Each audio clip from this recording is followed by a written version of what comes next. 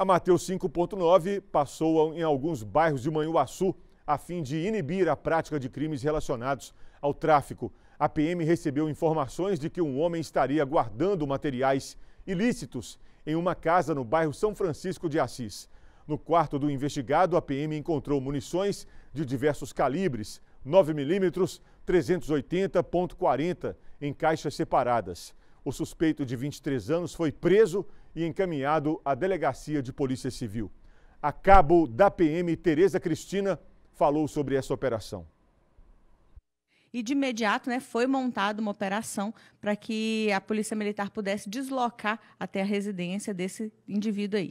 E chegando lá no local, as equipes é, adentraram na residência né, e durante as buscas elas localizaram aí 60 munições calibre 9 milímetros, 30 munições calibre 380, além de uma munição calibre .40. Esse autor de 23 anos, ele foi preso juntamente com o material que foi apreendido, né, localizado lá na residência dele, material irregular, e foi encaminhado para a Delegacia de Polícia Civil para as providências subsequentes.